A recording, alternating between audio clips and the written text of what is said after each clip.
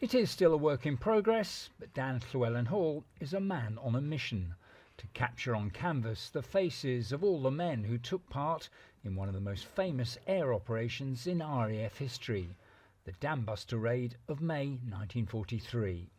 The attack used experimental bouncing bombs released 60 feet above the ground to destroy dams in the Ruhr Valley, with the aim of disrupting the German war effort. 53 airmen were killed during the raid, three were captured. The Dambusters as a group is one of the most famous squadrons ever, uh, the most daring raid in, in the RAF. But uh, we don't know much about the individuals. So, so for me, this is very much about the human story, about investigating their, them as, as, as, um, as characters and the, the precursors, of what led them up to going into this raid. Well, Dan really does have quite a task ahead of him. There were 133 airmen who flew in the Dambusters raid, and he's painting a portrait of each of them. I'm trying to get away from this idea of this whole, this big number.